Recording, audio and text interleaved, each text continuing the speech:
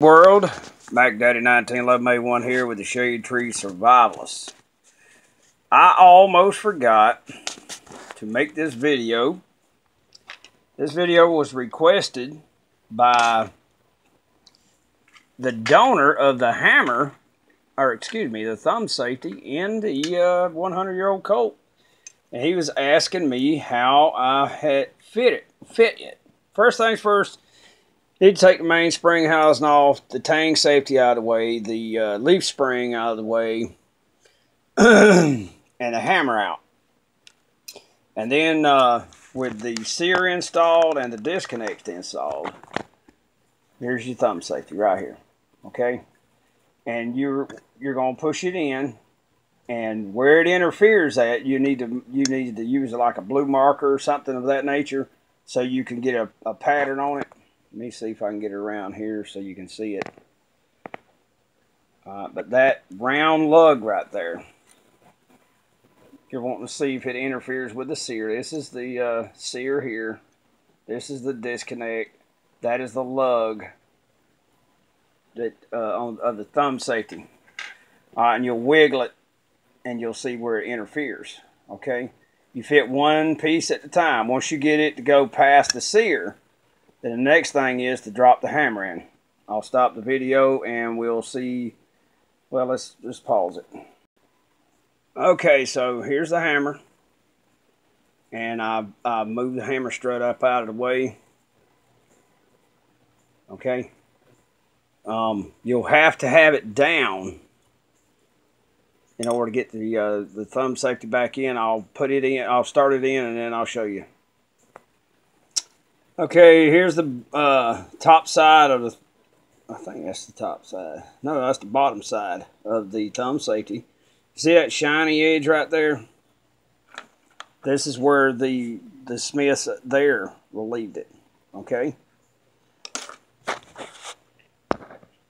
All right, and let me see if I can get this thing to focus.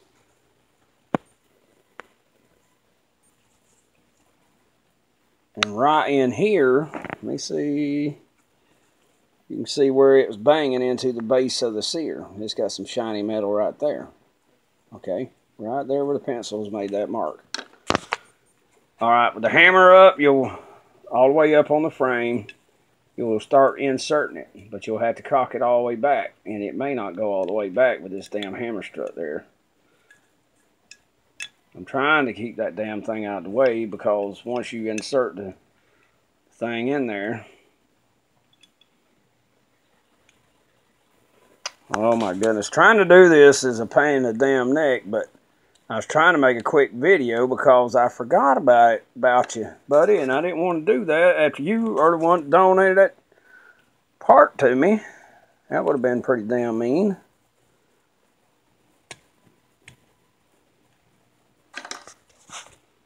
Let's see, wiggle, yep, see?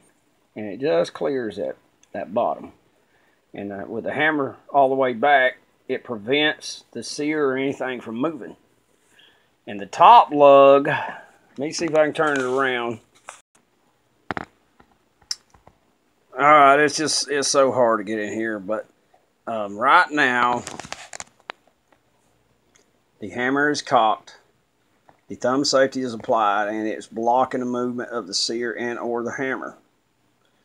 And um, let's see if I can get an angle over here. That damn, I can't take it off of there because that's peened, unlike the one on the uh, the new Colt. So Maybe if I'd thought about that. But yeah, you just, you know, you get it in there and you, you mark it up, color it up. I would just lightly, lightly, lightly sand it to get the, the, the coating off and then I would um, just wiggle it back and forth in there. And you'll see where it's interfering. Okay this is the orientation it'll be. If you rotate it back you can see that shiny surface right there. Okay. And so this is upside down. Okay this is correct orientation. So this is upside down. You can see the shiny mark right there. And that's the corner you're going to work on. And if it interferes at all with the hammer, this other corner right here. So there's two sharp angles and there's a dip, a hollow in between the two. Those are the two corners. But yeah. Um, brother, get the book. And uh, this will be your most valuable tool besides your, your tools you're going to use with it. So, uh, sorry the video's so shaky and I can't do any better than that, bro. Um, but I'd already wrapped up everything for the day, and I remembered I told you I was going to do this. Um, one more thing, if you got a sticking frame, use some metal polish. Just use a little bit of metal polish and work that slide back and forth. Wipe it off really clean. Oil it.